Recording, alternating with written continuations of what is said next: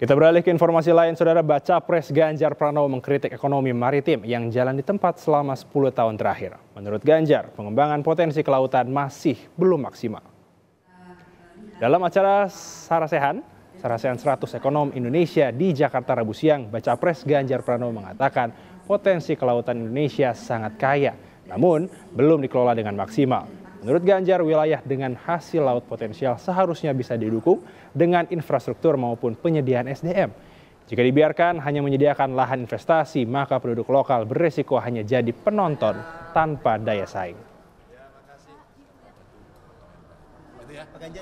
Udah disiapkan umpama tol laut, tinggal kita optimalkan saja. Terus kemudian daerah Indonesia Timur punya potensi garam, ikan yang bagus. Saya kira di sana mesti ada pabriknya juga sana mesti ada infrastrukturnya juga, apakah itu pelabuhan, cold storage gitu ya, sehingga kemudian tumbuhlah ekonomi-ekonomi yang berkembang di wilayah Indonesia Timur atau di wilayah kelautan yang kita miliki dan kemudian kita mesti menyiapkan SDM-nya.